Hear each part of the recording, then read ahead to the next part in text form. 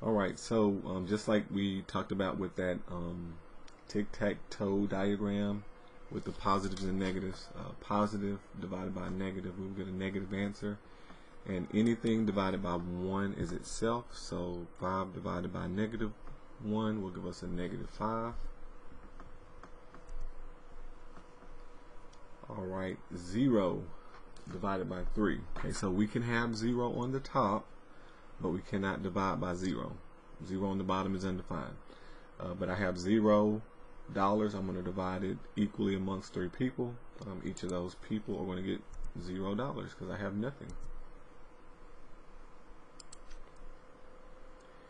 and then we're going to choose which ones are undefined so that means which ones are dividing by zero alright this one is not this one clearly is um, 5 minus 5 is 0 so this one is also dividing by 0 um, and it says it doesn't really say it should say um, choose all correct answers but it just says choose the correct expression um, so but anyway there's three of them. Six minus six, that's also zero. So you got to understand it's kind of hidden, but all three of those will give you undefined.